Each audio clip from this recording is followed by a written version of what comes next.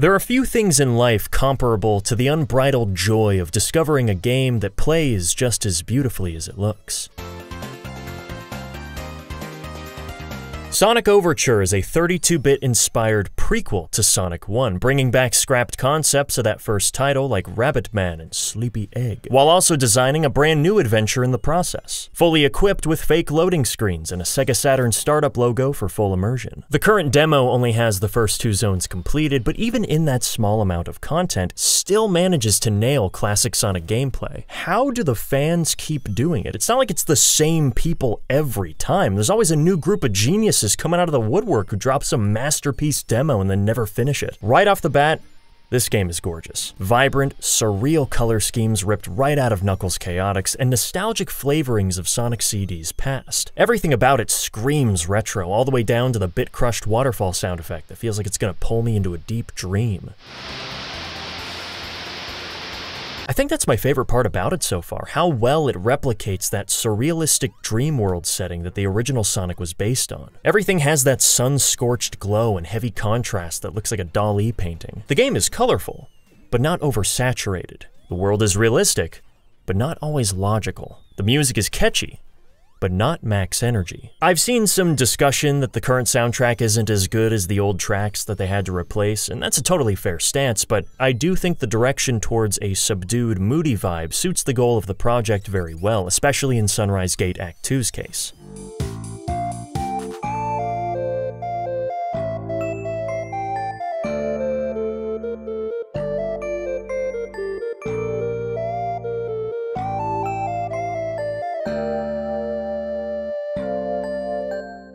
You never know though, anything could change. I love how different each act is from the other. Sunrise Gate is obviously the Green Hill parallel, a statement that may terrify the current generation of Sonic fans, but then Act 2 is almost its own archetype, taking place on what looks like a pink metal ship with a mystic ruined civilization in the background. PTSD of getting lost is already setting in. If it weren't for some returning assets, I would have mistaken this for a separate area altogether. Granite Zone, a play on Marble Zone, is a dense forested ruins area with a bunch of lava like the original taking you in and out of dark castle interiors. And then Act 2 brings in a rainstorm clouding the sky. Not quite as contrasting as Sunrise Gate, and we do step away from that surrealism just a tad by grounding ourselves in man-made architecture, but the significant changes in scenery keep these zones far from going stale, and the level design only solidified my captivation. Yeah, that's the spirit Sonic, what do you how it really feels like they took Green Hill and made it longer. Not taller like Palm Tree Panic and Angel Island, not flattening it like an Emerald Hill, but a full-scale extension. You even walk past the old goal ring where the demo used to end to show where the expansion was made. Every act runs at around 2 to 3 minutes apiece casually, so we get a pretty substantial amount of content, especially for an early game classic Sonic zone that's meant to canonically precede the original. And I think this gives you a good amount of time to connect with all the gimmicks and get a feel for how the whole thing is gonna flow flow. Because like with Green Hill, you can kinda do whatever you want in Sunrise Gate. There's no pressure to conform to any playstyle yet. The top is open and free, the bottom more crowded and hazardous, but it's also home to a lot of well-hidden secrets. It made me very happy to see the breakable walls return with bountiful goods on the other side every time. They're not easy to spot either, you have to go pretty out of your way to notice that there's a ground under you, then turn back to find the right path. Sometimes it'll even trick you by putting a spring in the way that takes you higher to safety, missing out on those goodies unbeknownst to you. Even some invisible walls here and there. Yeah, how about some more of not that? It's a stage that can be played fast or slow at any moment you please, without being so massive that you feel like you're gonna be here way too long if you keep stopping every time you get curious. And despite being a Green Hill recreation, there are a lot of differences that make it quite refreshing. Even just rotating the checkerboard to a diamond shape does a surprising amount of work. Indoor loops return, but the extravagance has been cranked up with big drawn-out swirling sequences. Background foliage is more majestic as well, well. I love the normal loops being made out of rock. I think that's such a cool aesthetic. Scrap brain-esque spheres are placed in midair that you can roll around at your own risk. Totem poles have been added to the background that you can land on and even jump off of to reach higher places or be flung in a direction. This is actually one of the main unique gimmicks to Overture's name as it appears in every act in some form, like the trees in Act 2 and the very tip of the sun symbol. It's a cool touch of personality to give to such an already expressive character that you know the original Sonic team would have probably bounced around in some way back then to incorporate incorporate. I mean, look at the balancing animation. That thing's more wobbly than a US marriage. Admittedly, though, there is a jarring quality to suddenly perching on an object that you weren't trying to. Whether it's jumping through the air on a speed run or attempting to smash an enemy or item box that happens to be right next to one, taking that brief half second to process that you've been halted in place multiple times throughout a given stage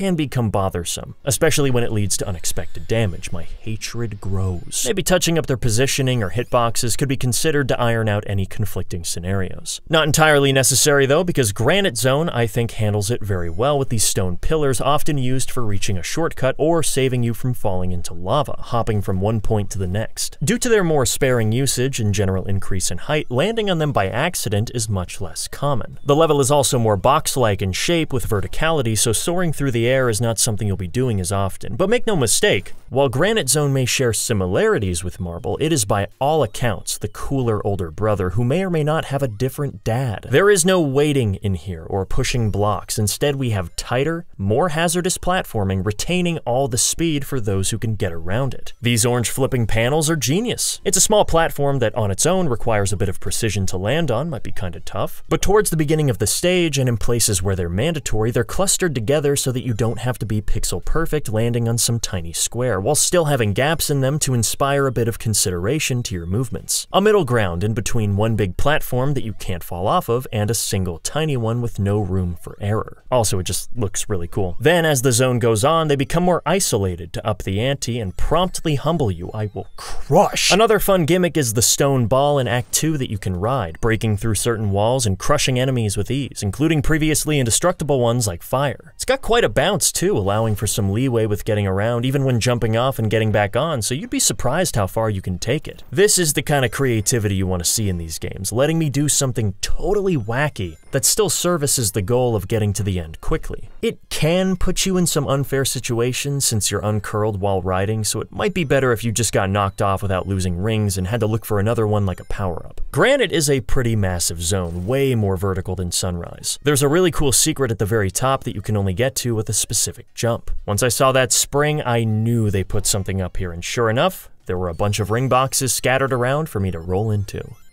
I love this kind of stuff, always will. Again, the knowledge on display of Sonic level design is exuberant. No weird out of place gimmicks, pointless waiting sections, or gratuitous recycling of assets. It's constant platforming with a purpose no filler. The other unique feature to this demo is the chain link score multiplier. When you destroy an enemy, a meter begins draining with a link number next to it. Destroy another one before it runs out, and you'll replenish about 30% of it back, increasing the number by 1 to represent how many you've destroyed consecutively. Not only will the corresponding adjective become more enthusiastic the higher you get, but the enemies themselves become worth more points, going up by 200 for every link you have. Item boxes count as 2 and 1, so you definitely want to go after those. Rings can even refill the meter to help bridge the gap in between sections, and I think invincibility slows down the meter to give you more time. If you're at all familiar with my appreciation for the score attack in Project 06, then it should come as no surprise that I got quite addicted here. There's no tangible reward for doing it, no rankings or bonuses, but the rush I get from barely snagging that enemy, seeing what new eclectic word is next, planning a route to finally nail that personal best, reaping the glory of those insanely buffed point values is all so exciting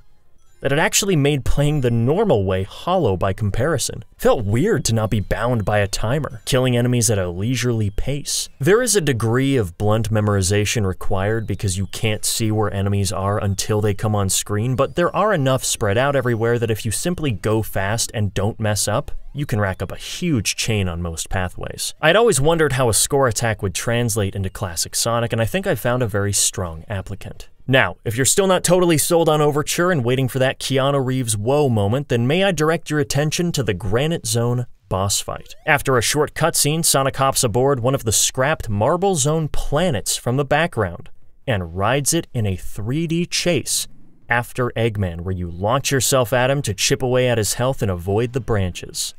I love when retro inspired games put something in that at the time of their hypothetical era would have been considered groundbreaking. Because in the context of what you're playing, it still kind of is. Even though we know technology is more advanced, it's easy to get sucked back into that old mindset when you're engaged with such an accurate recreation of the past and get wowed by this stark detour in gameplay. Also, Sonic, you stood there while he got away and then acted surprised when he did. What is wrong with you? As for the fight itself, it's pretty cool. Depth perception is a bit of a concern. These trees are tricky to find the hitbox on at first, but they at least make you transparent so you can actually see. It is really easy though. You barely take any damage, so I think it could stand to be buffed just a tiny amount. I remember being struck with a bolt of sadness after I beat it too, because that's where the demo ends.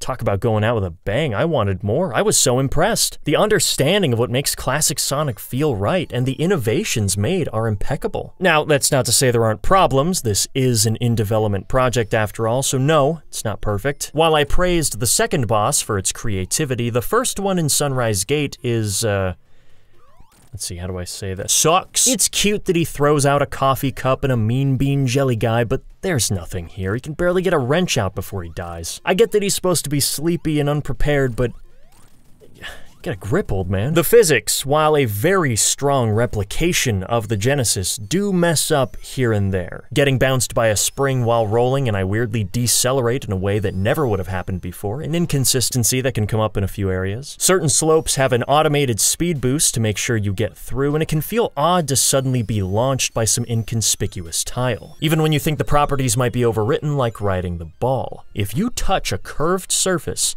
you go flying and it gets stuck in the wall, forever rising out of reach. The floating spheres in Sunrise Gate are broken as far as I can tell. If you roll around one, it will fling you off at a random time, which is definitively unreliable. You clip onto this ledge at high speeds and through it at low ones, have a seat. You can mash the jump button to reverse your direction in the big loops and jack up the scripting. The hit detection on these swinging spike chains is not quite there, especially when there's so little flat ground to stand next to them. There are less invincibility frames, which could throw you off, leading to some unfortunate juggling. A block that simply doesn't exist, letting you sit inside of it. This was driving me crazy. I thought I kept missing the jump somehow. An enemy that I straight up fell through, well, at least he showed up, right? And I rolled through a fireball, which was nice, but why? As far as enemy placement is concerned, it's classic Sonic, you're gonna run into things eventually, so yeah, there were some unfair moments, but nothing more egregious than the official titles. I think the worst is when riding the ball because you have to be uncurled, so much like modern dating, you have no idea what Maniac's arms you're gonna fall into. The totem poles in Sunrise Gate became a much bigger problem when enemies were placed right beside them, causing me to pose instead, losing precious time breaking my link. There also seems to be a timer bug where the numbers get messed up and then the score multiplier doesn't work at all anymore, usually after a few minutes minutes have passed. The sound effect volume is all over the place. Some of these are way too loud. The fireworks that come out of enemies could stand to go down by a decibel or two, same with the spin dash and rolling sound. Collapsing platforms are a jump scare all on their own.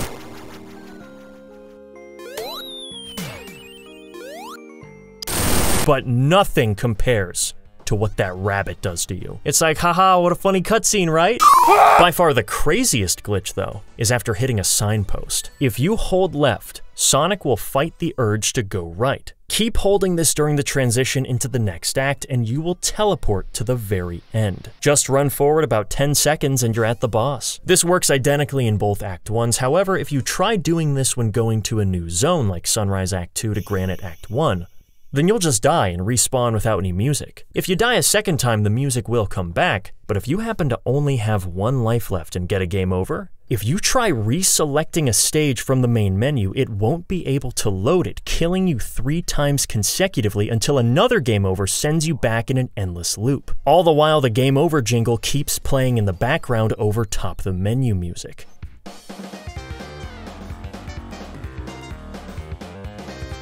That is wild. But hey, shields carry over into the following zone, that's pretty cool. I should mention that there is another fan project in development that uses Overture as a template to go in its own direction, and that's Sonic Legends. This gives everything the Mania coat of paint, and wow, is it another beauty. Hyper detailed animations and environments, things like putting scan lines on the green shield, oh, you've got me. Even the old music is back, which Yeah, it's it's really good. Act 2 is a hard track to give up. Sunrise Gate is much more densely packed here. You can get to the top of the stage in seconds by jumping a few times due to how tightly layered the background is. Fall to the bottom and you can spin dash back up to a new area. There's never a dull moment. The pacing and talent on display is exquisite yet again. The technical performance is also rock solid. No sound mixing issues. Physics are bulletproof now. The spinning boulders behave exactly how they should, no longer enforcing trust issues upon the player, letting you access some cool secret areas way up high you would have never seen, and the joys of flying through the air. Both bosses were considerably better than the original Act 2 as well. This purple machine has some cool animations. Act 1 is still a bit too much of wail on me while I do basically nothing, but still an improvement. I did experience occasional slowdown, a couple crashes, and fell through this platform right here somehow, but in general, the polish was great. That being said, despite this lovely overhaul, I can't say I prefer one over the other. I think both styles have their own merits that the other doesn't. Legends doesn't have that surrealism that Overture does, that faithfulness to a bygone era. It's pulling out all the stops to be a modern, classic Sonic game. It's got the drop dash, elemental shields, combine ring, items at the end screen, bosses in each act, everything that Mania had is here. And I would argue that there's a charm in dialing it back to a time when a spin dash and a shield was all you had. One boss per zone, level design that wasn't so compact, giving you room to breathe and take in the atmosphere, music that makes you think more than pump you up. Both acts of Sunrise Gate are a lot closer in style here than what Overture did, a bit shorter too. There's no Granite Zone, instead we have Panic City going for a totally different vibe, and no chain link system or jumping on totem poles. These projects are different enough from each other to not be locked in deadly competition. I want to see them both continued. It would be tragic if either one was abandoned like so many others. I had a blast with these demos. Overtures in particular really got me excited about classic Sonic again. If they can maintain this level of quality throughout the whole game and polish up the technical problems, we could have one of the greats on our hands. When official games don't fill the void, the fans come through. Best wishes to the dev team. I hope they're able to complete their vision. I know I'll be checking it out when the time comes. Until then, thank you guys so much for watching, and as always, don't forget to check out the next episode whenever I post it, which will probably be soon. Alright? See ya.